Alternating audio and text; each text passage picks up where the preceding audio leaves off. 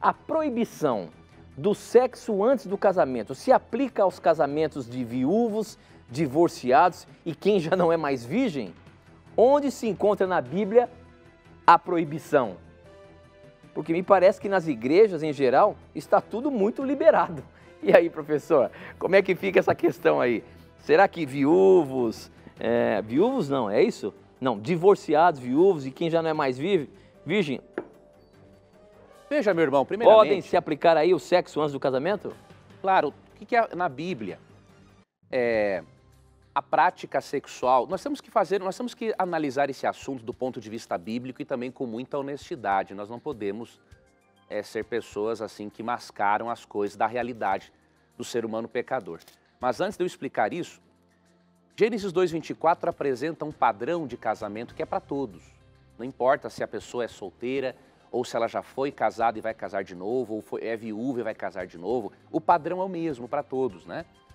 E aqui em Gênesis 2, 24 diz assim: Por isso o homem deixa seu pai e sua mãe, olha a sequência, deixa seu pai e sua mãe para ligar-se à sua mulher e se tornaram uma só carne. Então aqui está a sequência bíblica: independência dos pais, matrimônio e vida sexual.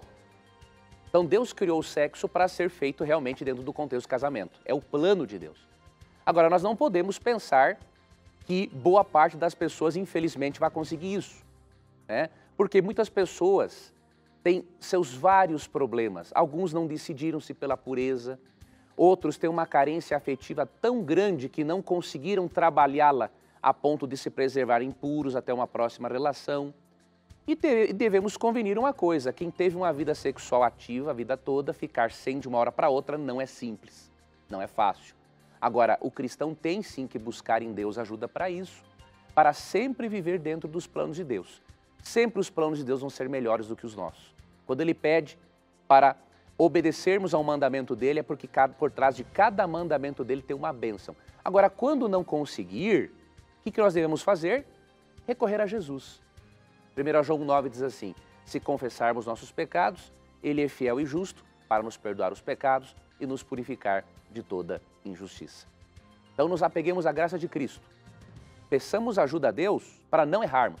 E se errar, peça perdão, recomece de novo, porque mesmo que você não possa ser virgem, fisicamente falando, espiritualmente você pode. Se você se arrepender, pedir perdão a Deus, recorrer a Cristo, Ele perdoa você, Ele entende suas limitações, Ele vai estar lhe amparando na sua graça. Se você gostou desse vídeo, entre aqui no endereço do Namira da Verdade inscreva-se no canal. Vai ser uma satisfação saber que você está acompanhando não apenas o meu canal, mas também o canal do Namira da Verdade, tá bom? Um grande abraço.